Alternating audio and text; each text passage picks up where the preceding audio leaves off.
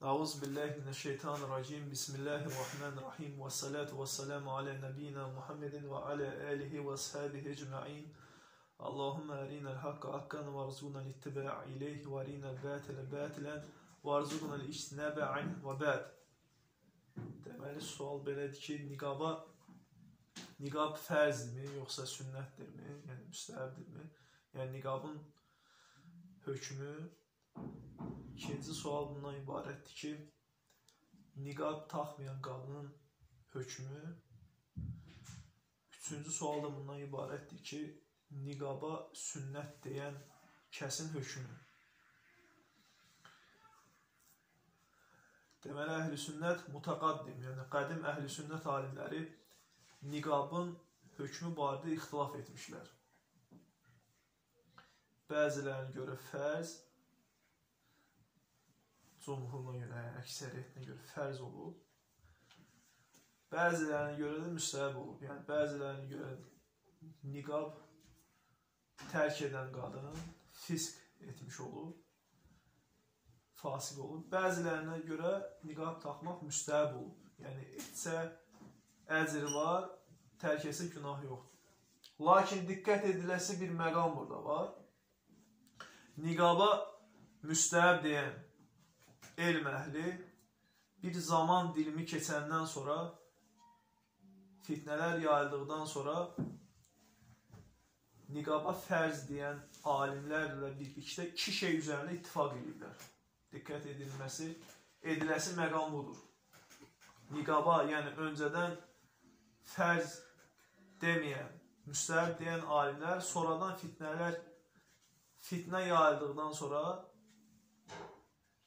iki şeyin üzərində ittifaq ediblər. Bir, əgər yaşanan vaqiyə, dövr,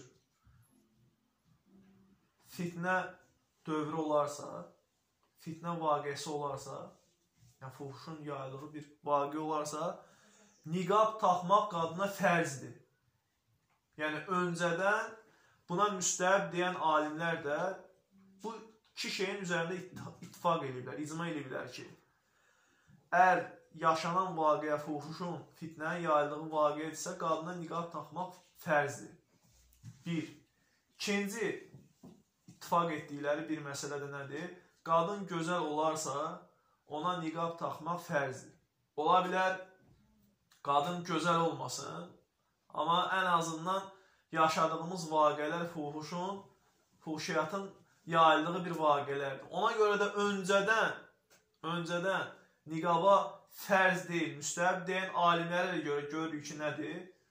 Bu gün qadının niqab taxması bu kimi vaqiələrdə fərzdir. Onlara görə də yəni fərzdir. Ona görə də təkcə bu məsələ yox, bir çox məsələləri görürsən insanlar elm əhlinin sözlərini ələ alır, lakin təfsilatlı bilmi bilmədiyindən dolayı məsələni, alimlərin sözlərini nə edir? Onu ümumiləşdirir və elə bilir ki, məhz bu elm əhlinin fikri bu olaraq qalır və yaxud belədir. Amma bir məsələdə elm əhlinin bütün sözlərini cəm etdikdən sonra görürük ki, məsələlər fərqli olur. Yəni, heç də insanların ilk baxışdan alimlər bir qism sözünü götürməklə bitmir.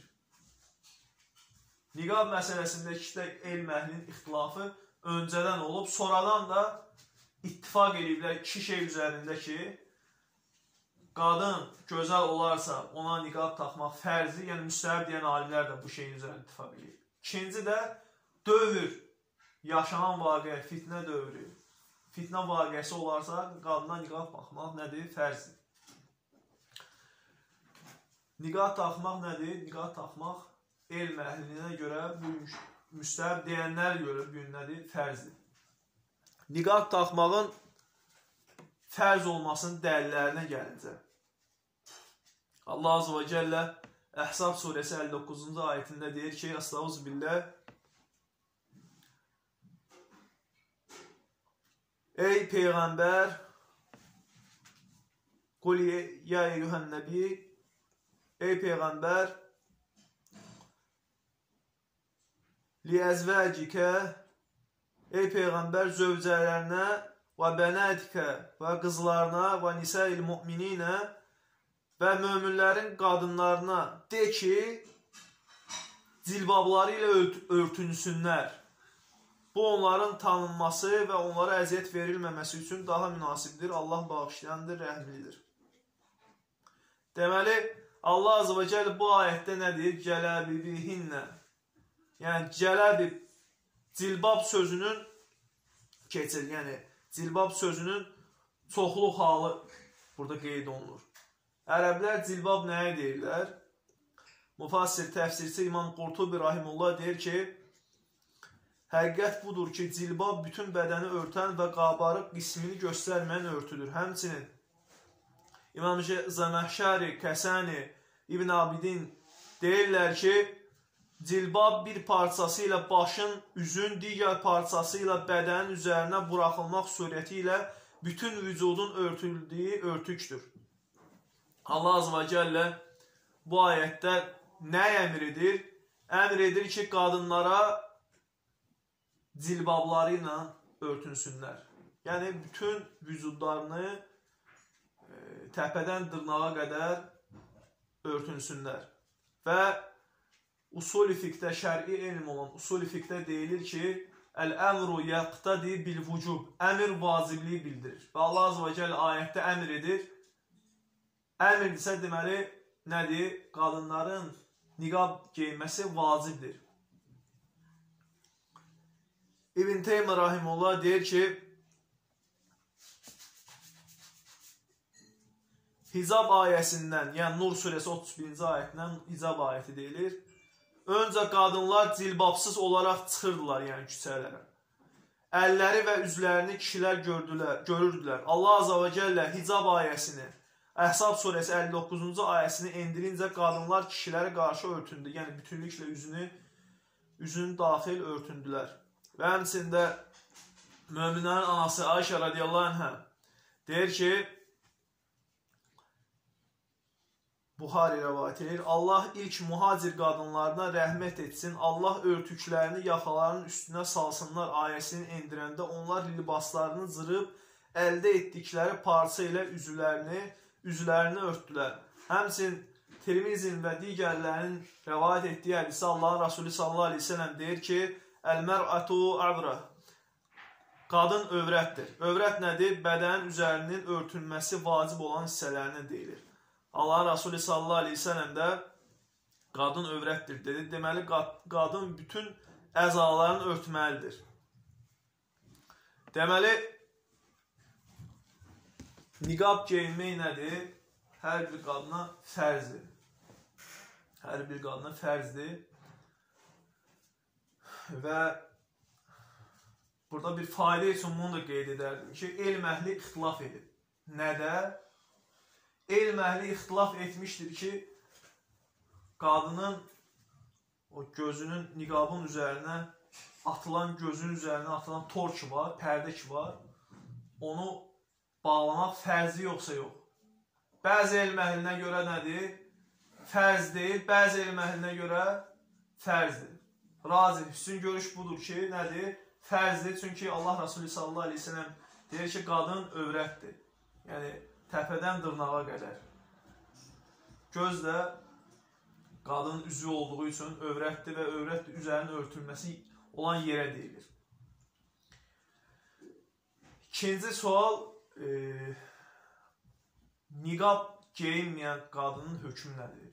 Yəni zaten birinci sualın cavabından da aydın oldu ki, yəni təfsilatı verəndən sonra aydın oldu ki, fərz isə hər bir şey, fərzin vacib isə vacibin tərki nədir? Vacibin tərki haramdır və insan fisk etmiş olur, fasiq olmuş olur.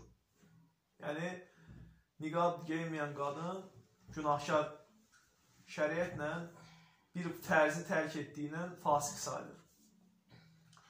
Üçüncü, niqaba müstəhəb deyən müsəlmanın halı nədir? Yəni, o, bu ilə yəni, sual verən deyir ki, sual verən deyir ki, bəzi insanlar var, bu niqaba müstəhəb deyəni, müstəhəb deyəni e, bir fərzə müstəhəb dediyi üçün tə təkfir edirlər təkvir boyutuna çatıb bu məsələdir. Amma əslində bu məsələdə təkfir yoxdur. Təkfir yoxdur. Elm əhli mutaqaddim, qədim elm əhli bu barədə danışır və bunlara buna müstəhəb deyən ol, de, deyiblər və sonradan e, bu barədə e, zaman fuhuş yayıldıqdan sonra, fuhuşiyyət yayıldıqdan sonra ittifaq etmişlər ki, fuhuşiyyətin yaşandığı bir bölgədirsə, vaqiədirsə, zamandırsa, niqab taxmaq nədir? Qadına fərzdir. Yəni bu məsələdə nə yoxdur? Bu məsələdə müstəhəb deyən müsəlman bu məsələyə təkvir olunmaz. Yəni bir müsəlman təsdiq edir ki, niqab İslamdandır. Niqabın yəni inkar etmir ki, belə bir ibadət var. Lakin bunun hökmündə nə deyir? Hökmündə deyir ki, bu müstəhəbdir, fərz deyil. Bu insan, bu qadın və yaxud da bu kişi təkvir olunmaz. Təkvir olunmaz. O səbəbdən ki, o səbəbdən ki, Quranda, sünnətdə alimlər niqabın fərz olmasını ictihad yolu ilə qənaətə gəlib. Yəni ictihad ediblər və bununla da deyiblər ki, nədir? Niqab fərzdir. İctihad yolu ilə çıxarılan fərz olduğuna görə bu məsələdə e, təkfir olunmaz. Subhaneke Allahumma ve bihamdik. Eşhedü en la ilahe illa ent. Estağfiruke ve tuğbileyk.